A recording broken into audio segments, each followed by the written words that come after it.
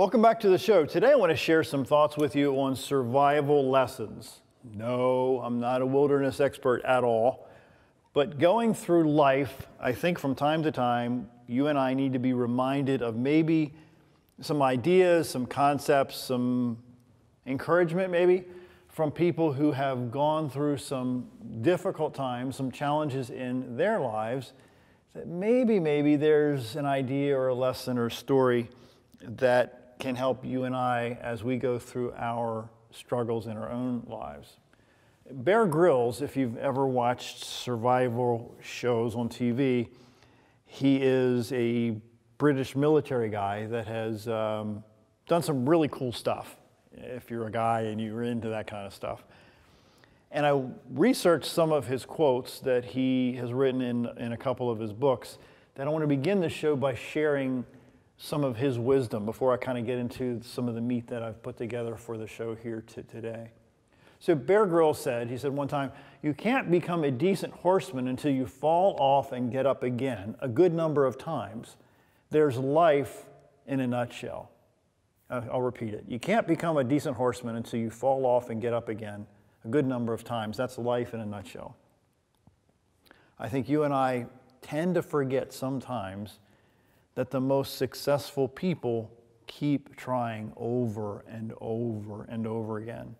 He goes on to say in another book, he said the difference between ordinary and extra, extraordinary is so often just simply that little word extra. And for me, I've always grown up with the belief that if someone succeeds at is, it's because they're brilliant or talented or just better than me. It, it means more than these words, and he always felt smaller because of that. But the truth is very different. As for me, to learn really that ordinary really can achieve something extraordinary by just going a little bit more. Think about that in your own life. How many people have you met, maybe worked with, maybe family members, maybe people that you have seen on TV that have become above average. I'm not even going to say extraordinary just yet. They've become above average. And you looked at them, it's like, how in the world could you have become above average when I know where you come from? I know who you are. I know you can't spell. I know you can't do this. I can't know you can't do that. And they've excelled and achieved an above average level of everything. Well, if you look at it closely enough, you're going to see that the majority of these people have only succeeded because they've kept pushing more consistently than everybody else in their lives. Bear Grylls goes on to say, he said, the lesson is the rewards in life don't always go to the biggest or the bravest or the smartest. The rewards go to the dogged, he says. And when you're going through hell to the person who just keeps going, just keeps going. Just keeps getting back up again. If you look at all this, not all, a good chunk of the sports players that have achieved an above average level of success, where are they before everybody else? They're practicing their craft. They're practicing their sport way, way more than the average player. So that suggests to me, again, that maybe the people who survive some of their most difficult times in their lives are the ones who persist more than everybody else. I used to work with a company who had an employee in it who could not read or write. But week after week, he was the most productive employee in the region. Why, you ask? How? What? He can't even read or write. Well, this person outworked everybody else and built into his daily agenda tools and tricks to help him overcome his difficulty of not being able to read and write. However, in the same region, there were college educated people that weren't producing 10% of what this guy was. Why? Work ethic, desire, hunger, tenacity. A survival mode was not even part of their thinking at all. Bear Grylls says, why is it that the finish line always tends to appear just after the point at which we most want to give up? He says it is the universe's way of reserving the best for those who can give the most.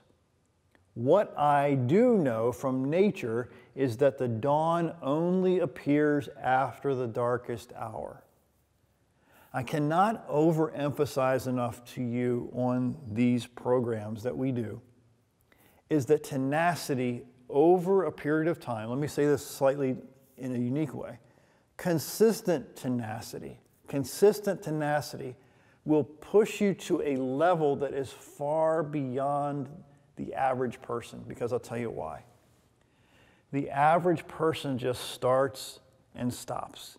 If you look back at their life, their life is full of starts and stops. They never really finish anything. They start a bunch of stuff. In, in fact, Jim Rohn said something to the effect years ago. He said, Most people, you look at them, they have a life full of foundations. That is like you would build a foundation on a house, right? You pour the concrete and put the walls. They have all these foundations, but none of them have built a house. It's all it's a hundred foundations over a, a lifespan, but nothing's been built because they haven't completed anything that they've started. I wonder if you've struggled that maybe from time to time with building a lot of foundations, i.e., getting a lot of ideas, a lot of concepts, a lot of desires to do certain things, but you never followed through. You never continued down that path of survival because this came up or that valley was there and you couldn't imagine climbing that mountain because it's just so incredibly high. But the people with tenacity, with consistent tenacity, are the ones that consistently achieve the extraordinary results. Bear Grylls said, Are you the sort of person who can turn around when you have nothing left and find that little bit of extra inside to keep you going? Or do you sag and wilt with exhaustion? It is a mental game. It is, it is hard to tell how people will react until they are squeezed. Have you ever been squeezed, in quotes, emotionally squeezed. And then what came out of your mouth, you were shocked to realize what came out of your mouth. Because when you got squeezed, really the real you came out, didn't it? Because up until then, you have this image, you have this image that you want people to see. But when you're really squeezed, when life really puts you in a bind, when, when really, you know, kind of life tries to screw you over, the real you comes out. That's when survival really kicks in. I, am uh, occasionally I watch this TV show. If you're watching around 2018, 19, uh, there's a show that was on TV a lot called Naked and Afraid. It's a show about two strangers. They go out to the wilderness and a variety of places around the world, and they live for X amount of days or weeks with no clothes on, and they have to literally find their own food, build their own shelter, and everything else. But as I watch the show several times, you see that the longer they go without food, the longer they are out there on their own without having things that keep them going, they implode much faster. So, with that example, I would suggest to you that it is essentially important for you, if, and me, by the way, if we want to survive and thrive and reach any sort of finish line in our lives, then we have to constantly develop the habit of feeding our minds and our lives in a way that will push us past some of the most challenging times that we have in our lives. Now, that kind of goes hand in hand with another point, and that is it's essential, I think it's beyond essential, that you surround yourself with people that will push you through some of these survival modes. Yeah, because as you may have seen in your own life, you have people maybe in your life that are very negative and they see the glass as not even half empty, but empty. So everything that they come at you with is all negative. Do you think that those people are going to help you push through those survival modes and those, those times of discouragement? In my world, I've had to set aside those people, and I literally have to turn my back physically on these people because they're literally going to tear me down. They're not going to help me reach where I need to go because at the moment, in that situation, they're not changing. They don't want to change. You've coached them, maybe. You've, you've tried to get them to look at the glasses half full, but that's not necessarily the case. The point is that you are in control of the people that you allow on your team in your survival modes, or at least in your times of survival. If you were in if you were a patient in a hospital, would you want a carpenter to come into your room and pretend to try to fix you up? Would you want a plumber to come in there? Would you want an ele- electrician to come into your hospital room and start to attach what they do for electricians? I would hope not. I would hope that you would want a physician to come in who is an expert at what you're struggling with, not just some general doctor, but an expert, right? It's the same thing with life. You and I need to surround ourselves with, with people that are really good at some really cool things to help you get through some of those difficult times in your life that you're going through that you need them at that moment, at that time. And then guess what you can do for them is that you can leverage your skill sets and your knowledge with the people that are in your circle as well. Because what you give, you can get back, right? Bear Grylls said one time, he said, Our achievements are generally uh, really kind of small only by the beliefs we impose upon ourselves. Again, our achievements are generally small only by the beliefs we impose on ourselves. So if you believe that you can't do certain things, or you believe that you can't survive in a certain mode, guess what's going to happen?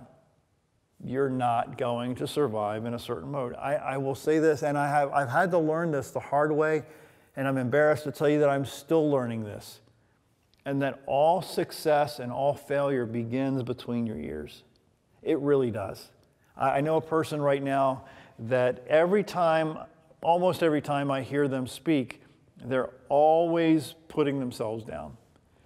They're always using what they don't know and what they struggle with to keep them from doing some really extraordinary things in their lives.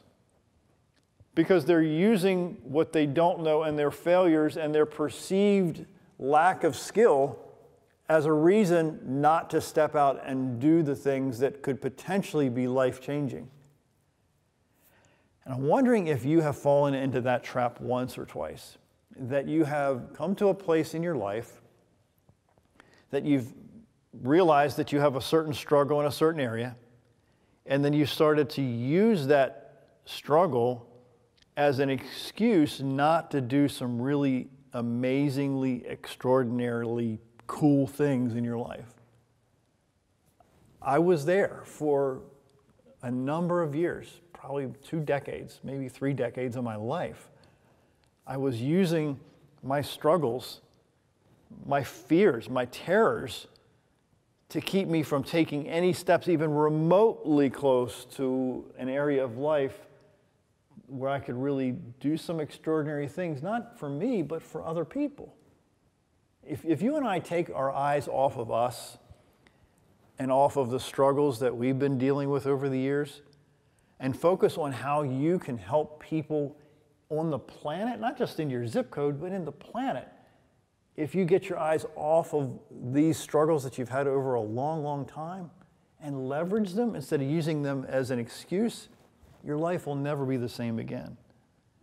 Bear Grylls said, again, I love Bear Grylls, so I'm quoting him a lot on this on, on show here today.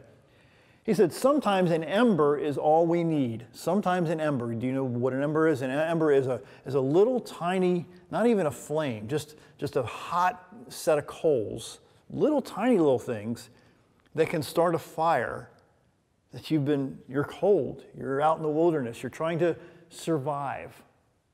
And all you need is a little bit of hope, a little ember, a little idea, a little phrase, a little story.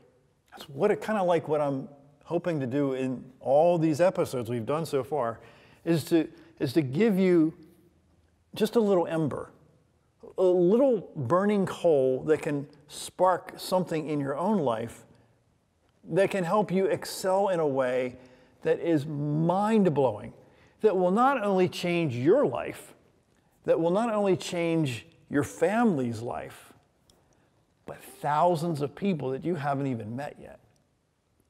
I'm trying to be that ember. That's my, if, if there's a, a one why that I have in doing these shows, that's my why.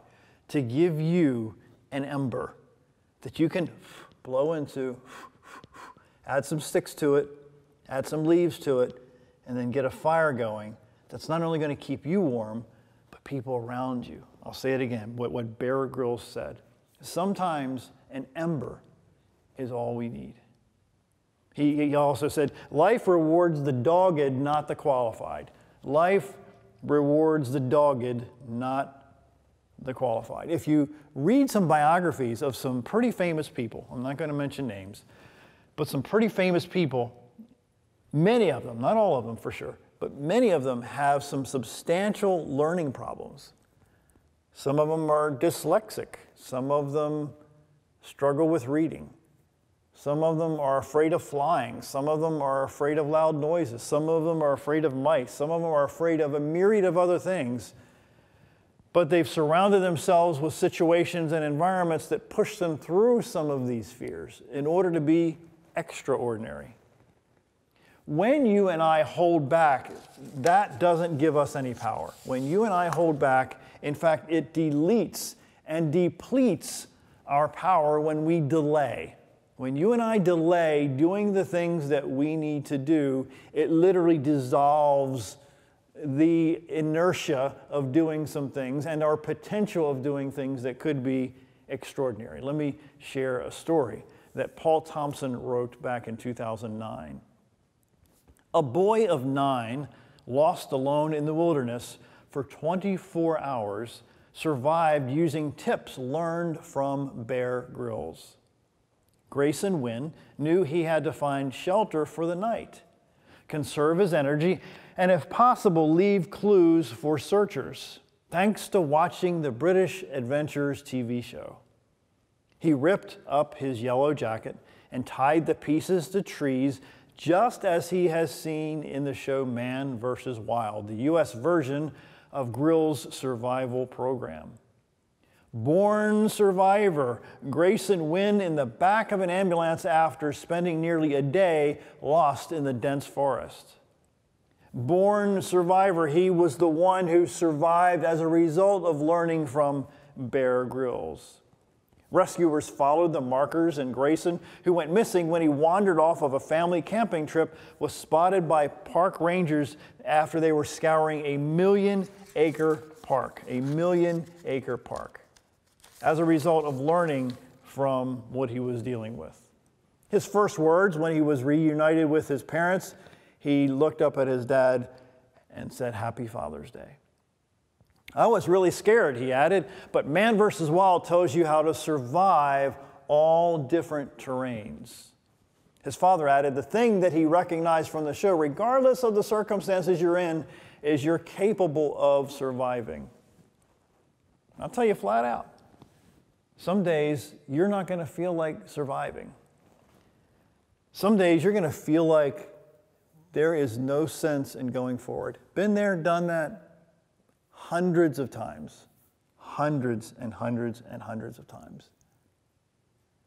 But the key is what you do every hour of every day that keeps you moving forward. That is, do you consistently put gasoline in your mental and emotional engine? Consistently is the word that gives you what you need to do to keep moving forward. Keep moving forward is very difficult, especially in terrain that is not so fun. So, you know, when, when you're going through some really tough times in your life, you look at the, the storm in your life, you look at the, the, the, the, the hard times. In fact, I can remember as a kid, we're talking probably 1970 something. Hurricane Agnes came through our region of the United States. And my mother was out somewhere. I can't remember where she was at the time. But my brother, myself, and my father were home, and my mom was not home. And this was, it was a hurricane going through. And I can remember that my father was so panicked, understandably and justifiably panicked, that that created a serious panic in my own mind as a result of his panic. So that story can be extended to your life and my life, I think. That if you and I choose to be around people that are negative, that tend to panic, that tend to make, if you will, a mountain out of a molehill, then that air, that emotion, that terror is going to seep into your mind and into your heart. Versus hanging around people that are courageous. In fact, I, I believe, at least it's worked in my own life, when I choose to hang around courageous people, guess what I become like? I become like them. When I hang around people that are fearful, I'm just telling you the truth, I become fearful. So the older I've gotten, guess what I've decided not to do? I've decided not to hang around fearful people. Because if you're dealing with a struggle, do you want to hang around people that magnify that struggle? Of course not. So I choose to hang around and listen to and learn from people who are courageous, who are lions, if you will, then most days I tend to feel like a lion. Versus if you hang around little kittens or little scaredy cats, guess what you're going to feel like? It's bizarre how the mind works. I'm not a scientist by any stretch, but it's very amazing how those, what some people call mirror neurons, that as you hang around certain people, you begin to act like certain people. Now, I would suggest to you that in your own life, what mirror neurons are you giving off? I mean, how are people looking at you and are they mirroring you in a positive way or in a negative way? I know several people who have come to me and said, I can't do certain things and I don't have the skill sets to do certain things. But I've learned from people much smarter than me that sometimes you don't need to have an expertise in a certain area. Sometimes you just need to, and I hate, to, I really don't like this term, but sometimes you need to fake it until you make it. Sometimes, hear me, sometimes you need to act courageous until you become courageous. Sometimes you need to act like you know what you're going through and what you're doing in a survival mode, even when in the middle of the survival mode, you really don't have a clue what you're doing, but you're trying to survive. So, for the sake of everybody else in the camp, for the sake of everybody else in the family, for the sake of everybody else in the team, you're looking at the glass as half full. And that may mean something too. That may mean that there are times when you have to keep your mouth shut. You say, John, well, wait a minute. Now, you're just saying that people are going to mirror. Yeah, I get that. But if you're going through a downtime in your life, it's really important, and I've not followed this advice sometimes, but it's really important to not let that negativity out at all. But because here's what happens as you evolve and as you become better in life and as you get stronger and become that lion and, and become a true expert at surviving some of your darkest times, then people are going to start looking at you for advice and wisdom and as a model how they can become a lion. So if you have your bad days, or maybe you have a bad week, and you're just in this funk or this cloud that is just you can't get through it. The last thing you want to do is let that out in the public. And I've, I've struggled with that before. And I know you have too. You've, you've typed some stuff out to post online, or you wanted to leave a voicemail or a text message that was just ugly as you know what.